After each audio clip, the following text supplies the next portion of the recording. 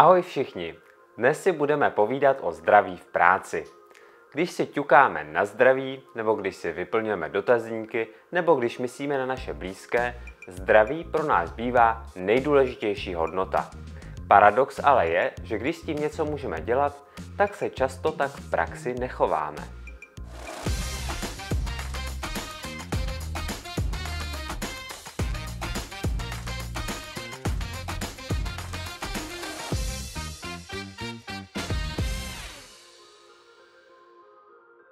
Data jsou neúprosná. Ačkoliv má dnes žena naději na dožití 81 roku a muž 75 roku, doba prožitá ve zdraví je pouze 62, respektive 61 let. Tedy po aktivním životě nastává doba 15 a 20 let, kdy je náš život různými způsoby omezen, například chronickými nemocemi. Velký vliv na to, jak dlouhý náš život ve zdraví bude, máme také my sami. Co jsou nejdůležitější rizika pro naše zdraví, která můžeme ovlivnit? Prestižní organizace OECD uvádí ve zdravotním profilu České republiky za rok 2021, že to jsou nezdravé zdravovací návyky, kouření, alkohol, znečištění ovzduší nebo nedostatek pohybu. Mezi konkrétní problémy, které jsou v Česku nejvážnější, podle OECD patří, že dospělí nejedí denně zeleninu a ovoce a nehýbeme se. Proto jsou Češi nejtlustší národ v Evropě.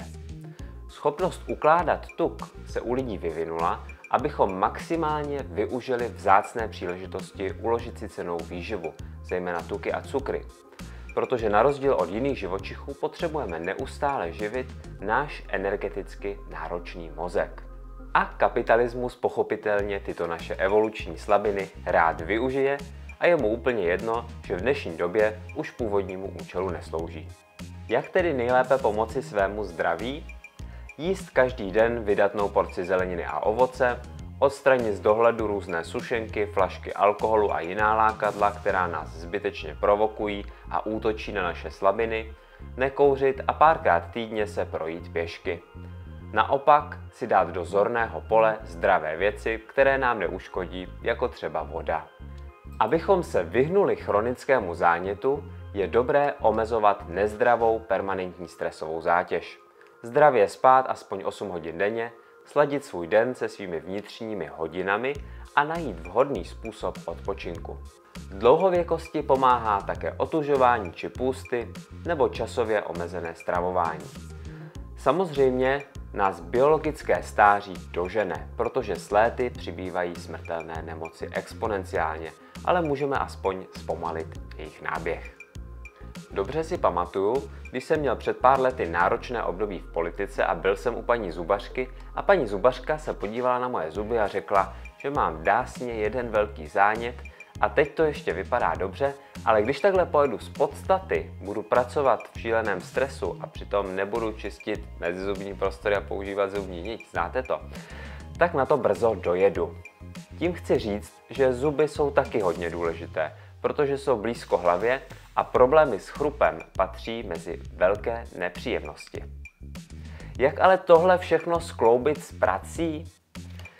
Předně je práce a práce. Jinak to pochopitelně vypadá v dole, jinak za pokladnou v supermarketu a jinak v květinářství. Ale ve všech případech by to měla být zdravá práce, pokud je to možné. Výběrem profese a dodržováním základních principů proto můžeme značně ovlivnit svůj zdravotní stav. Ale někdo si moc vybírat nemůže. Každé zaměstnání má svoje. Víte, jaká jsou nejméně bezpečná zaměstnání? Hasič a policista, pochopitelně nebezpečné profese, dělnické pozice, právník, to mě zaujalo, protože právníci jsou v neustálém stresu a většina právníků by tuto profesi nedoporučila svým kolegům, lékaři a zdravotnický personál, kteří často doplácí na to, že se starají o jiné, ale už jim nezbývá čas na jejich vlastní zdraví, čišníci a servírky, vojáci nebo řidiči. A naopak, víte, které profese jsou nejbezpečnější? Například fitness instruktor, tak samozřejmě, když někdo může v práci celý den cvičit, tak je to velmi zdravé. nebo taky IT specialista. Ačkoliv se může stát, že celodenní sezení před počítačem není zdravé, tak IT specialisté se pravidelně objevují na vrcholu žebříčku ve spokojenosti v zaměstnání. Další příklad jsou třeba květinářky, které pracují v krásném prostředí, nebo dentální hygienistka, ergoterapeut, dietolog. Tito lidé pracují na rozdíl od lékařů a sester většinou v kancelářském prostředí. Jejich práce je zajímavá, pestrá a není příliš stresující. Taky bychom do této kategorie mohli zařadit státní zaměstnance. Ne všude je to stejně, ale let kdy mají státní zaměstnanci docela pohodičku. Navíc mají dovolenou navíc a podobně. Míra stresu a konkurenčního prostředí nebývá tak vysoká. Ale ať už děláte cokoliv, máte-li možnost, zkuste pracovat a zároveň dodržovat pár zásad zdravé práce. Výsledkem bude, že vás nebudou bolet záda, nebude vás bolet hlava, budete méně nemocní, budete déle žít ve zdraví a možná vám to zlepší i osobní život. Těhle pár zásad se hodí pro práci v kanceláři a řadu z nich sám používám a možná některé typy přijdou vhod i vám. Které to jsou? Za prvé, zdravý talíř a pití vody. Stravujte se podle zdravého talíře z Harvardské univerzity. Polovinu talíře má tvořit zelenina a ovoce, hlavně teda zelenina. Polovinu má tvořit dohromady kvalitní bílkovina, jako například maso, a nějaká celozrná potravina, příloha nebo brambory. Jíme třikrát denně, protože nám to dává kontrolu nad tím, kolik jíme. A před jídlem máme zdravou chuť zase jíst. Jeste rozumně velké porce, tak na jeden talíř a nejeste junk. Špatné věci, které máte ve svém okolí, různé sušenky a tak dále, nahraďte něčím zdravějším. A když už je máte, tak si je aspoň nedávejte do zorného pole, aby vás nelákali. Pokud možno, často kvalitně snídejte. V kalendáři počítejte s časem na oběd, případně na večeři. Můžete samozřejmě něco přeskočit, ale mělo by to být vždycky vědomé rozhodnutí, ne důsledek zmatku a stresu. V zimě během chřipkové sezóny doplňujte vitamíny C a D. Důležitý je také pitný režim. Vypijte 2 litry vody denně. Ideální je čistá, filtrovaná voda s pokojovou teplotou. Pořiďte si láhev na pití, kterou si ráno dolijete z automatu nebo z filtrovací konvice. Čaj a káva se ale do limitu nepočítají. Pokud si dáte tak jeden šálek denně, což je přiměřené množství, tak je potřeba to kompenzovat další vodou. Za druhé, vyklidnění se.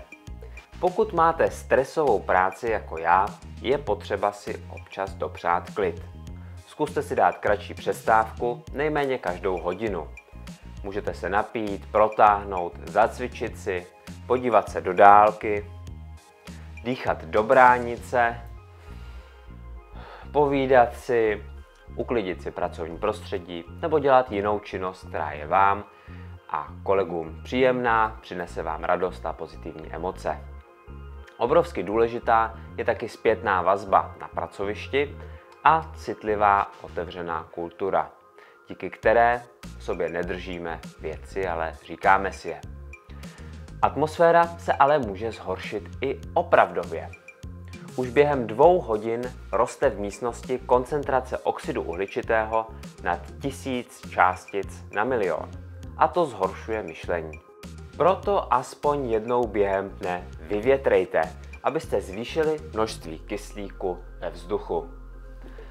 Existuje taky měřící přístroj, který měří obsah CO2 v místnosti, ale ten není potřeba.